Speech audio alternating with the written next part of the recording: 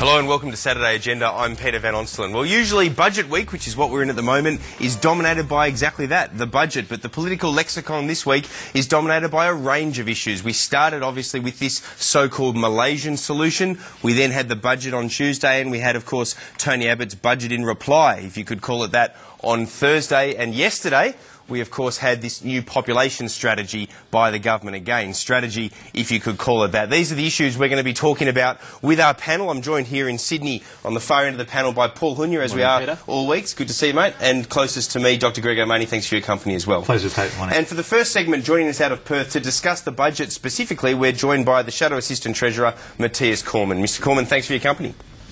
Good morning, Peter. Um, I'll come to you straight away if I can, Senator. Um, the budget reply by Tony Abbott, was it a deliberate strategy to make sure that there wasn't really much new in it, but rather it was a bit of an overarching critique of the government and a cry for a new election?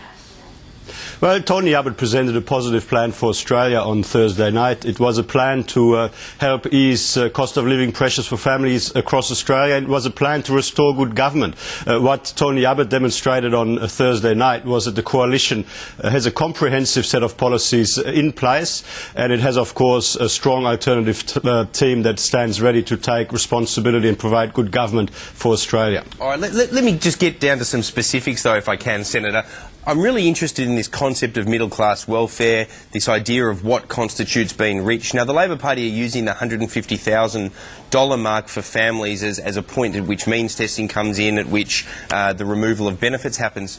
I'm wondering, as a Liberal, how you can Well, that- that is oppose not right, by that sort of situation. Well, well, tell me this though: middle class welfare or, or assistance packages uh, going to people earning more than $150,000 or families that earn more than that. The modelling suggests that that's only 15% of households. Why do the top 15% of households receive welfare from the state?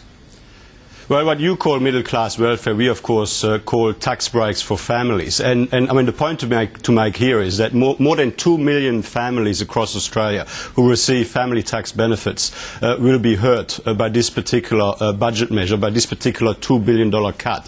Uh, this, this is, I mean, don't believe the Labor Party spin that this is just uh, the top 15% of, of families. It's just not true. And, and I mean, I guess the point, the point to make here So, is that we've had three or four. Well, Senator, if I could just jump in there. So, so you, you disagree with Malcolm Turnbull when he says that it's absolutely crucial for the coalition, if it takes the reins of government, to get middle class Australia off welfare? We, we, we've got a very strong plan which is uh, focused on uh, easing cost of living pressures. And Tony Abbott, of course, on Thursday put a very comprehensive plan in place.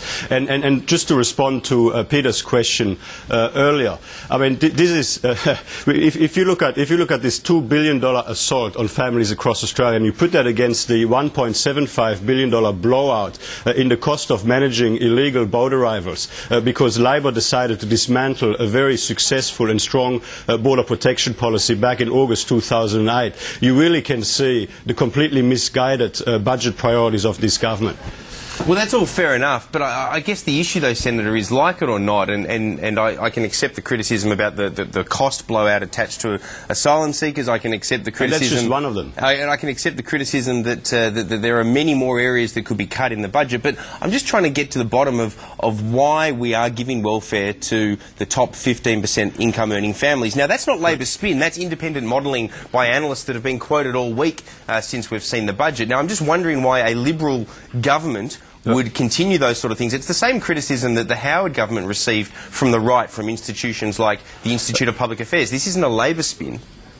The Labor Party is proposing to freeze uh, family tax benefits for all uh, Australians uh, that are receiving uh, uh, family tax benefits uh, earning as little as $45,000. I mean, the Labor Party is trying to divert attention from that, but that is, that is a fact.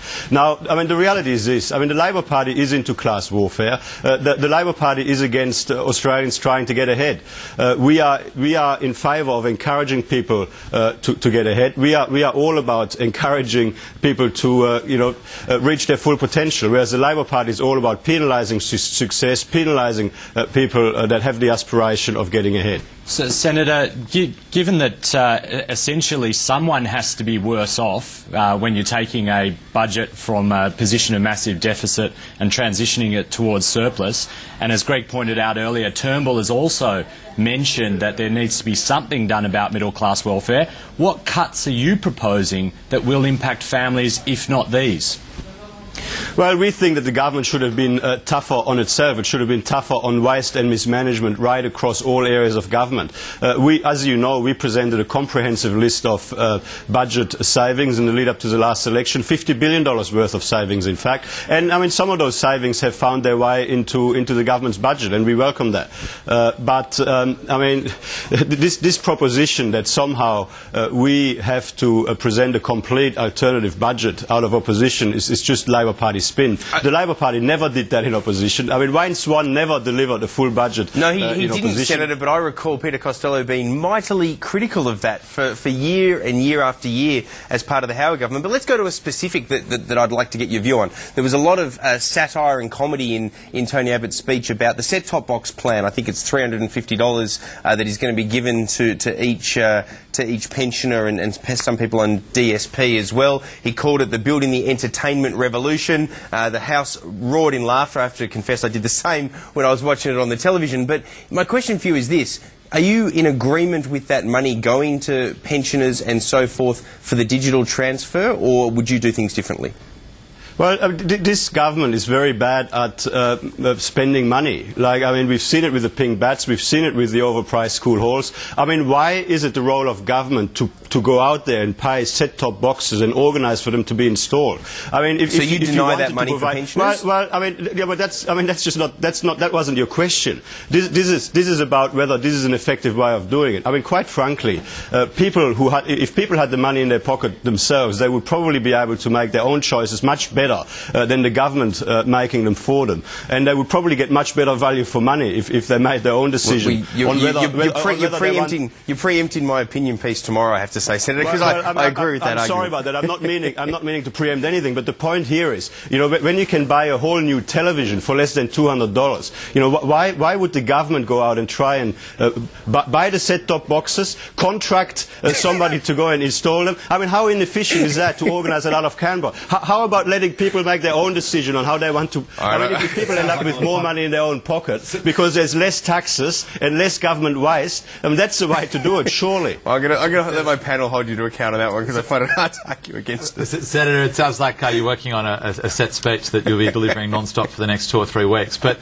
the, the, the question I well, have... I mean, but this government doesn't this government doesn't learn from its mistake, mistakes. I mean, we've had it with the pink bats, we've had it with the overpriced school halls, and here they're at it again. But, I mean, surely, I mean, surely they're going to learn from their mistakes one day. Can I make one point? At the beginning of this year, Tony Abbott said the one thing he wanted his party to do, he said he's learned from his mistakes of the last year. He had a good year, but there were some mistakes. And the big one was that you guys weren't being constructive enough. There was too much focus on the negatives. Do you find it bizarre, as Shadow Treasurer, that you're on sort of a few days after the, the budget in reply, and you are talking about pink bats, etc. Isn't that doing the absolute opposite of what he pledged well, to do, which is actually getting constructive well, well, and putting some new policies on the table?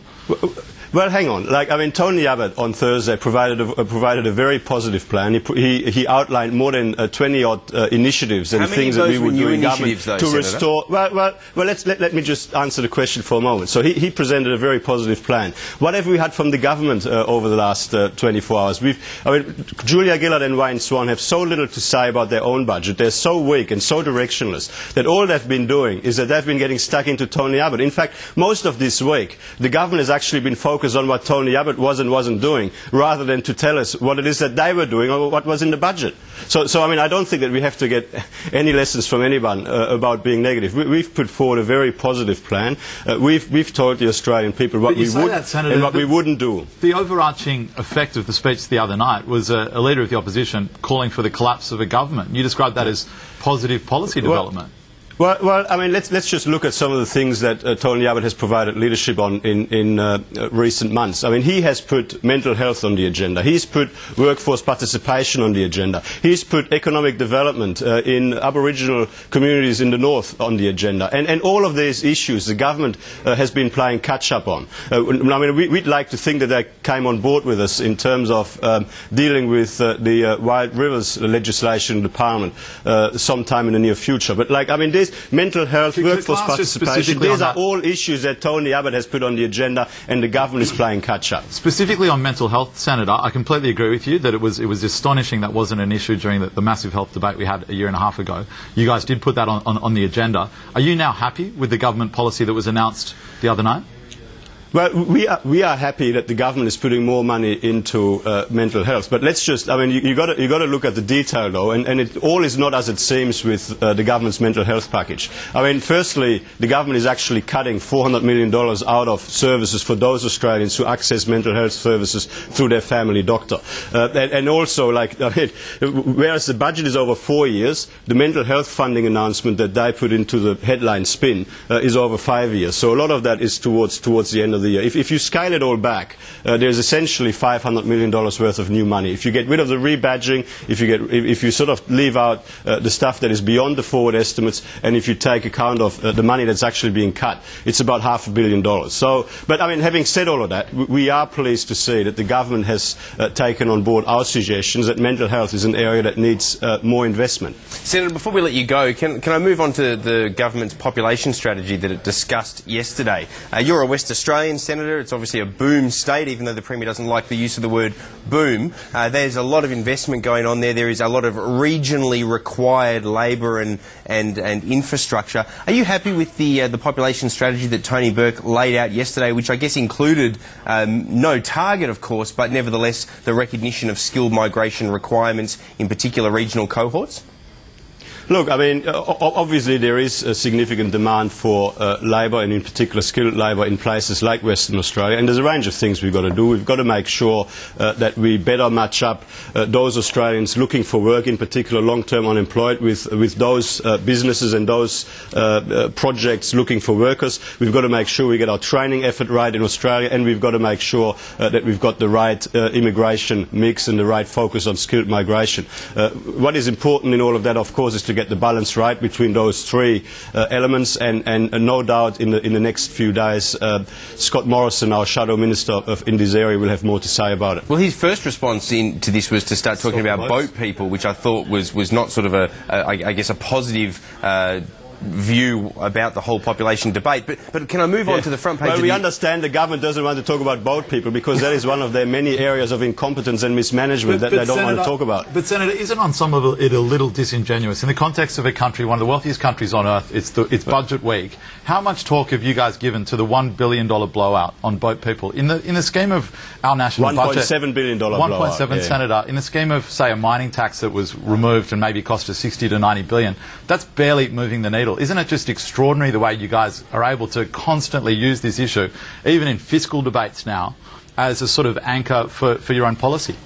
Well, well, I mean, but the thing is, I mean, like, if, let's, what, what would Kevin Rudd say? Fair shake of the sauce bottle here. Like, I mean, the last year of the Howard government, we spent $100 million on managing illegal boat arrivals. Now, uh, next year, it's going to be more than a billion. So in, in about four years, it has increased tenfold. And you're expecting us not to point to that. And, and when you've got a circumstance where just under $2 billion uh, has been the blowout in managing illegal arrivals because of the government's incompetence, and you put that against a, a $2 billion assault on families where, where they're being asked to pay the price for the incompetence, Senator, and you don't expect yeah. us to talk about it? Senator, Greg's point is there's $36 billion on the table for infrastructure. That's about 36 times this spend that you're complaining about for boat arrivals, and yet we haven't heard one iota of talk on infrastructure, your positive plan for the future on that. I, I, would suggest that, you know, with due respect, you start telling us a bit more about your alternative plan on filling the infrastructure gap in Australia rather than wasting the airwaves on this, on, on this one issue constantly. Well,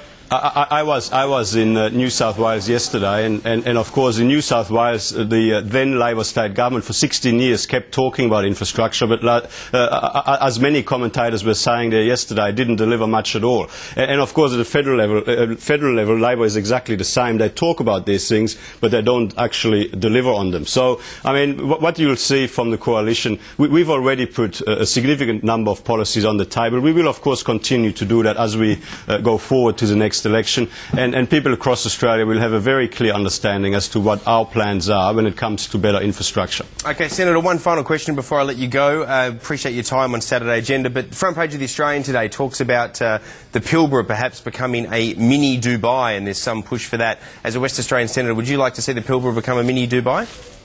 Well, look, I mean, the, the growth and the uh, development in Karratha is very exciting. I mean, there's there's many, uh, you know, world uh, world class and uh, you know, uh, there's very significant projects that are developing in in, in Karratha, and of course we've got to make sure uh, that all of the social and community infrastructure keeps up with the level of economic development. So, I mean, I think it's a very exciting time for for the Pilbara. It's a very exciting time for Karratha, and it's a very exciting time for Australia and Western Australia in that respect. So, was that a yes or was that that a no? Well, I mean, I'm not sure whether I would say like. Well, I mean, the, the reality is this: I, I, want the Pilbara to become, uh, you know, the, the, best the Pilbara can be. I'm not sure that I want to put a Dubai tag on it, but I mean, sure it's certainly. Hey? I'm not sure Dubai is a compliment. I agree with you. All right. Well, we're not, we're not going we're not going to get a yes or a no, but you want to see development well, in the Pilbara. I appreciate that. No worries. Okay, Senator uh, Mathias Cormann, we appreciate your company. Thanks for joining us on Saturday Agenda. Good to be here. When we come back from the break, we'll specifically look